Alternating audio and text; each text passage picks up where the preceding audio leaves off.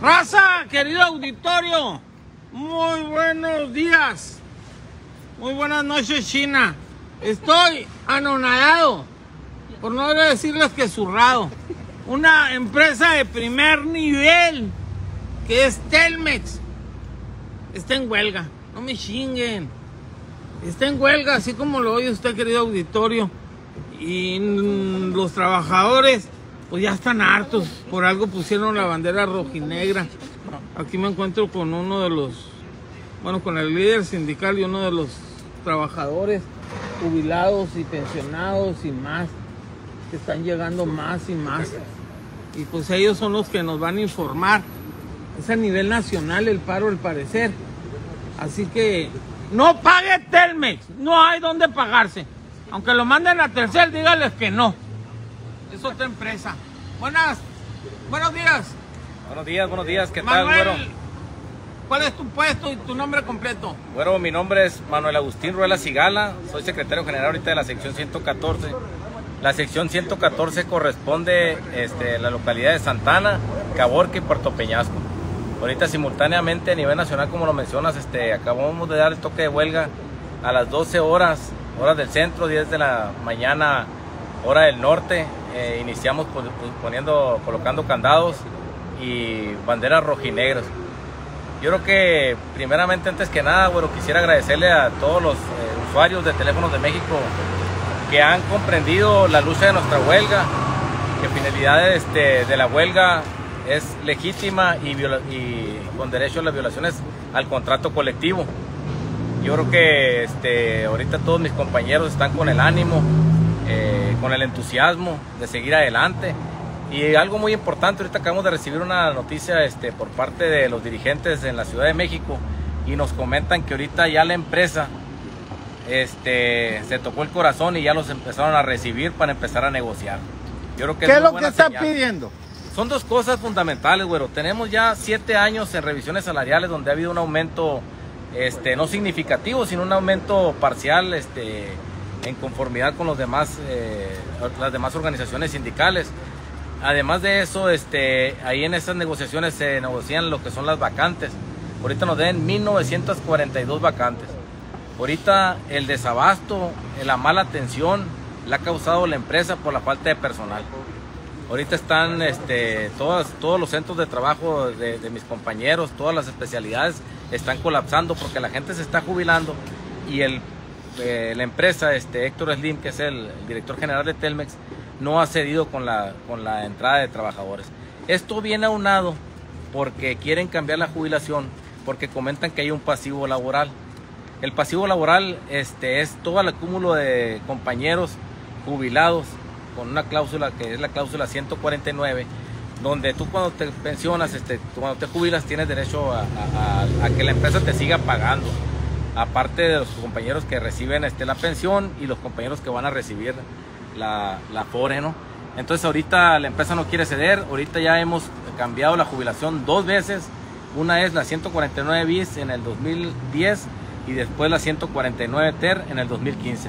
Hemos tenido ganas de seguir trabajando este, a la par con Teléfonos de México, estamos comprometidos, pero pues la empresa ahorita, eh, la actitud que está tomando no es una actitud este, que nos compruebe ellos que el pasivo laboral lo tienen los de no ingreso.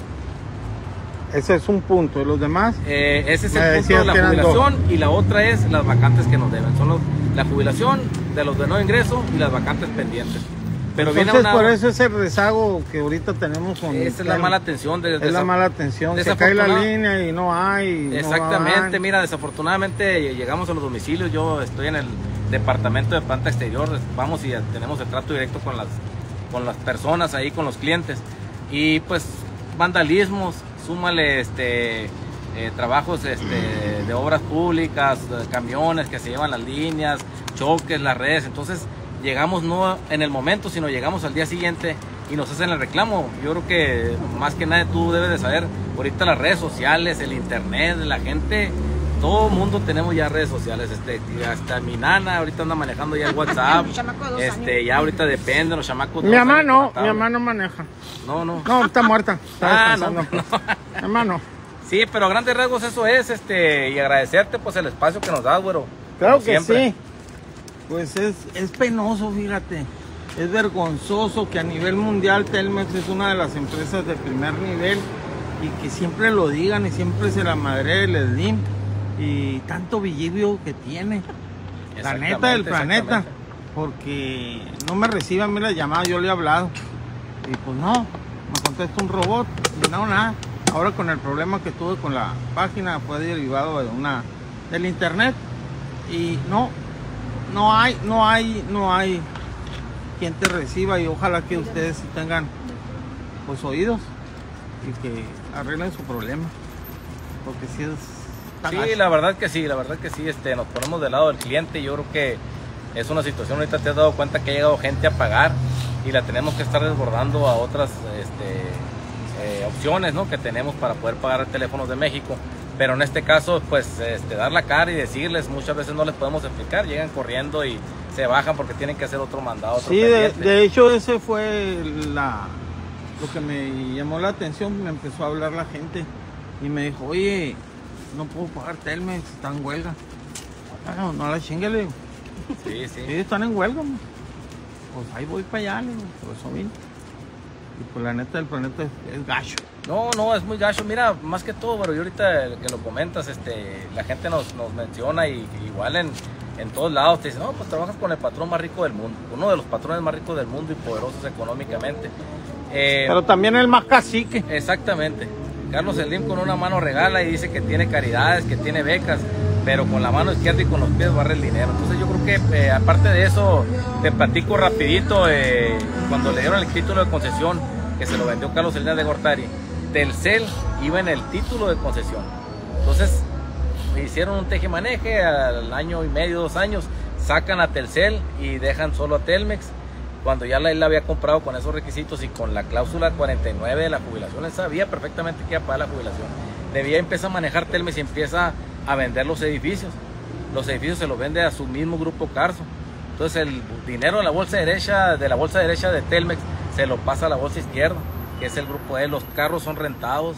Este, ya nos dimos cuenta, por ejemplo, que muchos de los, de los negocios que está haciendo, cuando unió todo con las empresas de él de América Móvil y confabuló eso porque nos habló a nosotros que la bolsa de valores lo llamaba, empezaron a, a desviar muchos recursos hacia otras empresas. Ahorita Carlos Slim está ganando en América Móvil en la empresa que él tiene de telecomunicaciones, 247 mil millones de pesos diarios de utilidades.